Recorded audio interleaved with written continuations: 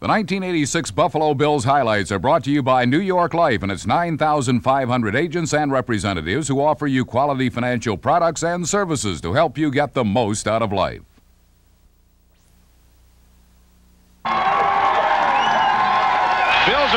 The tunnel entrance of the stadium right now. It will be Jim Kelly at quarterback. That's an exciting moment right now. And a beautiful day for football. It's football weather here at Rich Stadium. This is just 19 days after Jim Kelly signed a contract with the Buffalo Bills. He'll get the start at quarterback. And, uh, Van, I don't think there's been an opening day that's been as eagerly anticipated as this one. And Kelly has made the difference there. Kelly trying to get it going here. Dropping back to throw. Looking over the right, and it is caught by Reed at the 40, 35, 40, 25,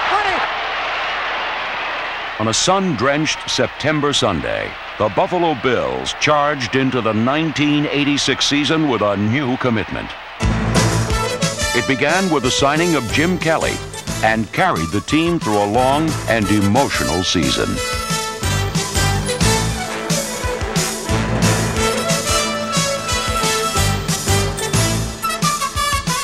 From frustration to fulfillment, the Bills emerged from last season behind head coach Marv Levy with a new dream for 87. It is a hard-working group of young men who've come back from last year. They do work hard. They have gone back to work. They have been able to overcome disappointment. You tell people you have to learn how to lose and come back. Our players haven't gone into a shell and haven't collapsed.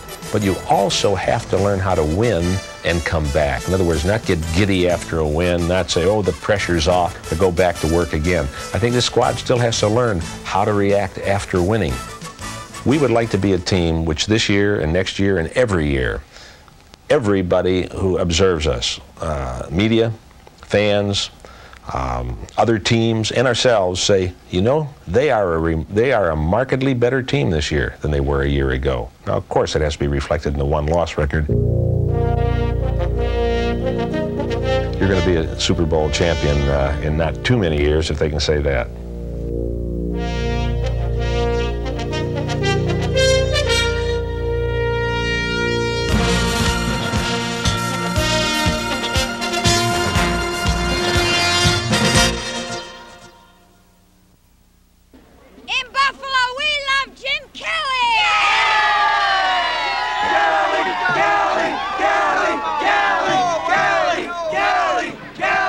Opening day, Buffalo fans began a love affair with the team's new quarterback, whose love affair with pro football launched lofty ambitions.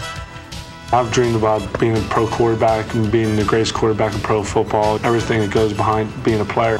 I've always wanted to take on the challenge of bringing somebody up from when they've been down. I want to bring Buffalo up because the fans are so excited and they want to win her so bad that I want to do what I can to bring this team up, and I know the players want to win. Inspired by Kelly's dream, head coach Hank Bullough led the Bills into the season opener against potential Super Bowl contenders, the New York Jets.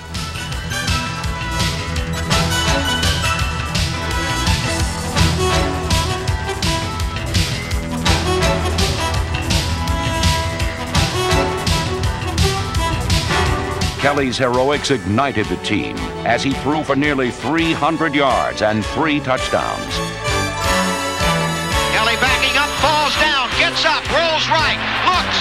Fakes once, now throws, touchdown! Pete Metzelaar! Unbelievable! What a fantastic play by Jim Kelly. Kelly dazzled the crowd. But while dreams of victory went unfulfilled that first week, his presence sparked excitement not only on offense, but also on defense, led by Eugene Marve. His playing has um, added a punch to our offense. I remember now being on the, on the sidelines um, for several minutes, having to stretch out, you know, before going on the field again. That's mean I've been sitting for a while, which is good. Even better, when Marve wasn't sitting, he became a tackling terror. What's been getting me over for the last five years is my hustle and my quickness on the field. A lot of times I play against certain players and beat them, not because I'm a better football player, just because I give more on that particular play than they do.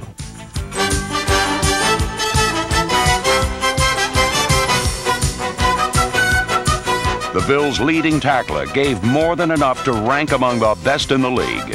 Linebacker Marve contributed a pair of sacks as well, but the team sack specialist could be found on the front line. The strength of our defense had to read from front to back. Our defensive line was pretty good. Bruce had an excellent season. He's a complete defensive end, very strong against the run, very strong against the pass. His career is going to blossom so that he will become one of the premier two or three defensive ends in the league. That's a pretty good building block to start with up front. The foundation of the defense. Smith ranked second in the conference, collecting sacks against some of the league's best quarterbacks.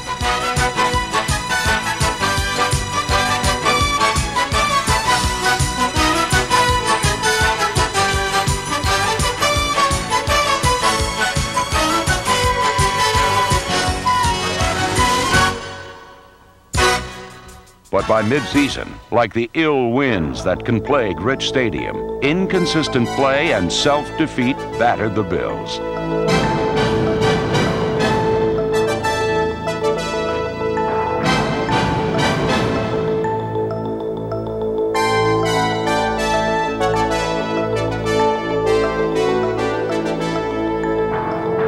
Players like Joe Devlin and Pete Metzelaars knew a storm was brewing. If we're going to progress, if we're going to start winning some more ball games, we're going to have to stop beating ourselves to a greater extent. We need to go out and play with more confidence uh, when we're out there on the field. Everybody on the team has to have confidence that we can win this game. We're going to win this game. That lack of confidence reached frustration level against Tampa Bay in an error-filled circus that a final desperation play failed to win. If we can go into the games thinking positive, knowing we can win, just because we're the Buffalo Bills doesn't mean we're going to lose every game. Start thinking the Buffalo Bills are like Miami Dolphin or LA Raiders, Chicago Bears. We can win every game we have. At midseason, the team dreamed only of winning the next game. They were running out of excuses.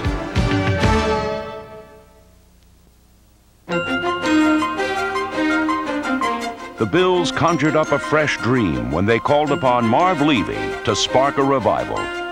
Levy's resume listed several years as commander-in-chief at Kansas City.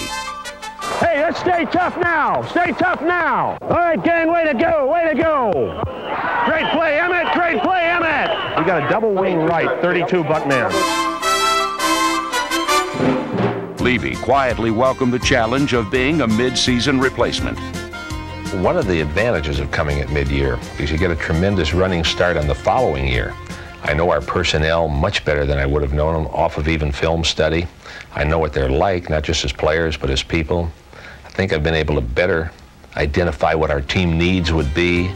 The number one ingredient for good morale on a football team, and you really have to watch the morale of a team that's been losing, is for a player to go out on the field and be able to say truthfully to himself, I'm prepared. The best way to accomplish that was to simplify and reduce, not to try to dazzle the other team with footwork. So we told our players, we're going to give you a relatively small package to learn, but you better learn it well and you better play it well. We can put the lines on the board, but the lines on the board aren't going to win. He had only six days to teach those lessons, but in his debut against Pittsburgh, those lines on the board were translated into success on the field.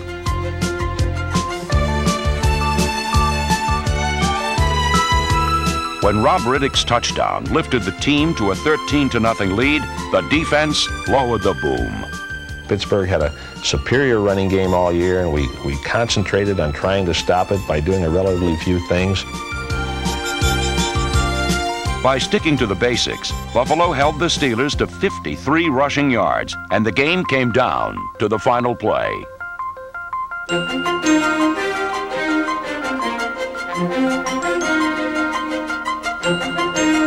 Rodney Bellinger's interception ran out the clock, and the Bills delivered a euphoric 16 12 victory to their new head coach.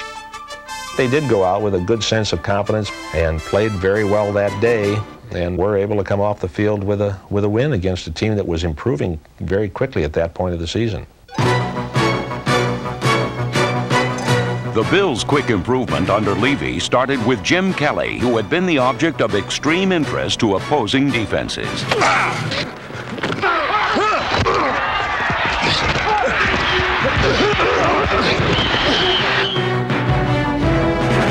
He's a tough guy. He's not what I consider your typical quarterback mold. I like that about Jim Kelly. He'll take a hit, he'll get up, and he'll go on, where some quarterbacks might be a little bit what I would call mamby-pamby about it, but he's not really that way. I really can't go into a game worrying about late hits or worrying about people taking cheap shots at me because when I start doing that, it's going to take me off my train of thought. It's going to take me off what I'm supposed to do, and that's to read defense and win for the Buffalo Bills. These tormentors discovered that in Kelly, they had met their match. He performed, in my opinion, remarkably well for a first-year quarterback. I cannot recall a first-year quarterback, whether it be a Dan Marino or a Terry Bradshaw or a Bert Jones or a Montana or any of them, performing in the first year as well as Jim Kelly did. He's got full range of ability as far as throwing the ball. He can take a little bit off, he can throw it hard, he can do almost anything he wants back there with that ball. Jim has the ability to lay it in over the top of the linebackers and just drop it in right to you. He can drill it in between some linebackers if the ball really has to be shot in there. But he also has the ability, he's got that strong arm, he can throw the ball 60, 70 yards in the air.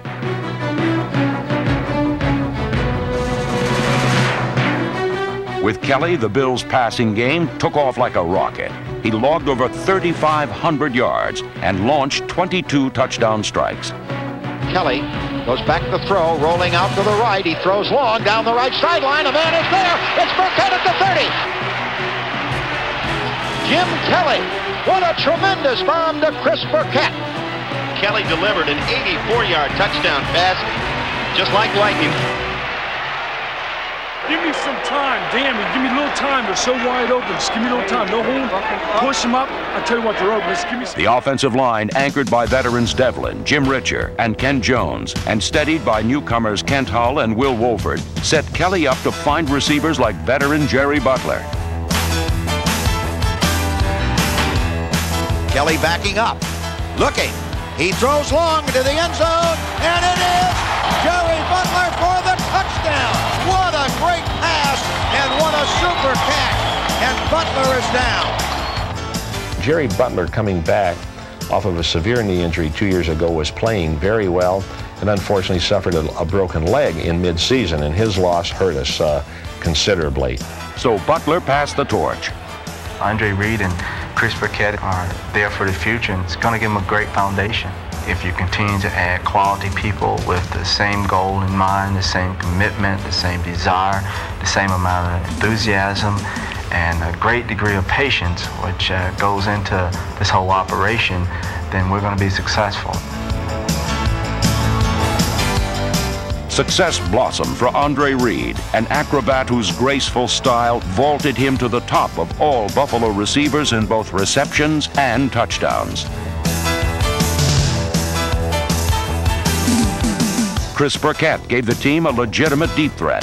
His nearly 23 yards per catch was one of the tops in the league. Long downfield, a man is there. Burkett, he's on his way for a touchdown. At the 10, the 5, he scores! What a beautiful play. He beat the cornerback and one of the best. A 75-yard bomb from Kelly to a wide-open Chris Burkett. Burkett and Reed electrify the Bills' passing game. But Kelly carries a torch for his steady tight end, veteran Pete Metzelaars. I've gotten a little contact with Jim Kelly, and he knows what to expect from me, and I know what to expect from him. He likes to throw the ball to tight end. He came in here and told me that. He says, uh, you keep working to get open, and, and I'll throw you the ball.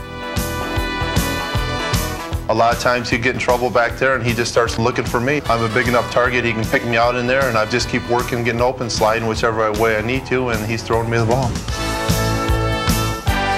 This former college basketball star could engineer his own fast break to turn any play into a big gain.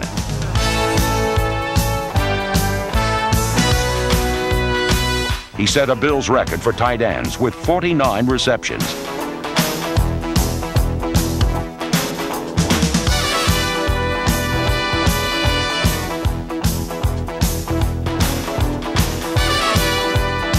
And sometimes, when Kelly wasn't even looking for him, the ball would find him anyway. It is given to the fullback. He fumbles in the end zone. It is recovered by the tight end. Pete Metzelaars for the touchdown. Would you believe it? With an improving receiving core and a developing offensive line, Jim Kelly and the Buffalo passing game dare to dream of greatness.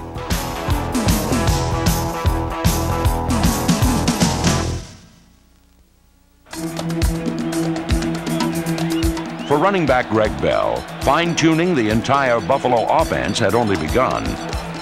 When you look at a football team and you look at an offense, it's just like an engine. Everything has to be in sync. We're all just starting to gel, I believe.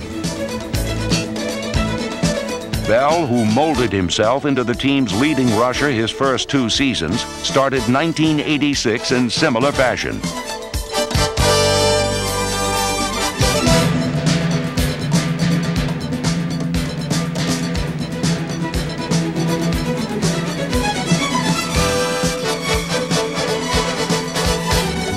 But he was hampered by injuries most of the year, and Rob Riddick filled the void. Injuries gave him opportunities, and he stepped in and seized those opportunities very well. Rob had an outstanding year, and it's unique. Here, here is a 29-year-old running back, which is, for a running back, uh, not very youthful. For a coach, it is, but who had an outstanding year.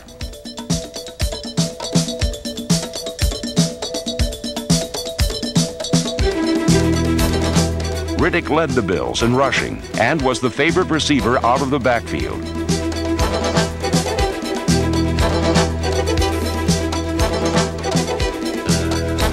And in the first Kansas City game, he teamed with Jim Kelly in a different way to spring for his longest run of the season. If there's nobody in the middle of the field and they are come with a full out blitz, the backers are outside, the safeties are blitzing from the outside. Why not run the play up the middle? They gave us everything that we expected. Uh, I checked two, and I was hoping that they would stay in the blitz, which they did. And the uh, offense line did a great job making their blocks. You know, it was Rob Riddick in the air, run straight down the middle, and just outrunning all the defensive backs.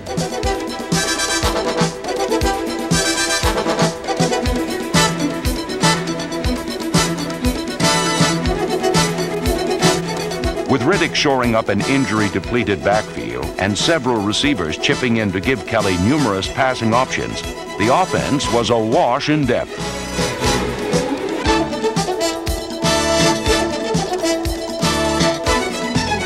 But lack of depth threatened to shipwreck the defense. Depth has to show itself more on defense than on offense. You have to be able to relieve your frontline players defensively. Without depth, Nose tackle Fred Smerlas relied on stability. It's a little bit more continuity. We're getting to work with each other more, understanding the calls and things of that nature, and able to execute without thinking as much. That's a big thing to do with the big improvement in the Bills this year. In addition to Bruce Smith and Eugene Marve, the defense took positive strides with N. Sean McNanie. Young veterans Derrick Burroughs and Martin Bayless held down the secondary. Linebackers Darryl Talley and Lucius Sanford brought respectability to the run defense. And Smerlas, the old man of the defense, anchored a solid front line. Still, heartbreaking losses tempered these defensive gains. What it takes to win is simple, but it isn't easy. And um, uh, first thing I think that we have to do, and this is an oversimplification right now, if I had to identify the main thing we did not do that we can improve on swiftly to help us win, we have to be better at taking the ball away from our opponent. Although the Bills hardly resembled the Brinks robbers, they could make getaways like Bonnie and Clyde.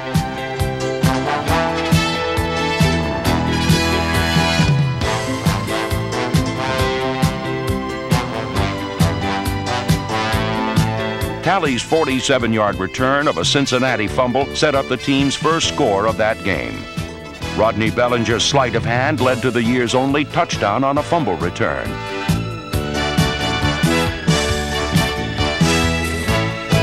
On special teams, Ronnie Pitts, son of running backs coach Elijah Pitts, the former Green Bay Packer great, delivered the team's first punt return for a touchdown since 1984. All phases of the punting game played key roles as a blocked punt by Steve Tasker at New England set up a field goal. And punter John Kidd contributed a solid effort all year.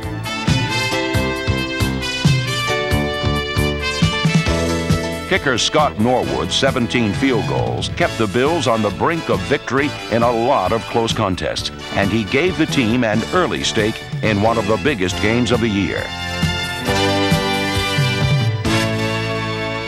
It came in a most unlikely setting on the road in Kansas City.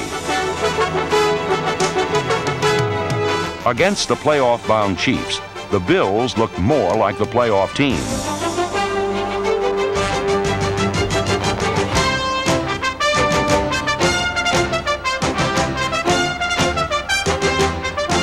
Andre Reed's second touchdown gave the Bills a 17 14 lead late in the game. Just went out and played one heck of a game that day, and we did take the ball away three times, and that's the key statistic. Buffalo trying to hang on here. The blitz, the long throw for Stephone Paige, and it is intercepted in the end zone by Rhodes. What a play! With their first road win in 22 games, the team looks ahead with confidence. But we want to get as good as we can get as fast as we can. And uh, um, patience may be a virtue, uh, but not in professional football. We want to get good in a, in a hurry. We want someone who's going to step in right now and be able to play. Someone like Ray Bentley, who came on late in the season to solidify the linebacking core or nickelback Dwight Drane, number 45. Or rookie Carl Byrum, who showed signs of being the fullback of the future. The future looks brightest for the pair of 1986 first round draft picks, tackle Will Wolford and number 33, Ronnie Harmon.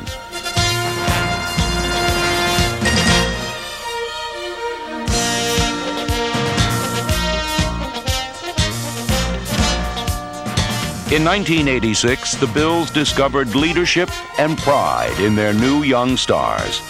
As they looked to a new season, they know they are good enough to dream.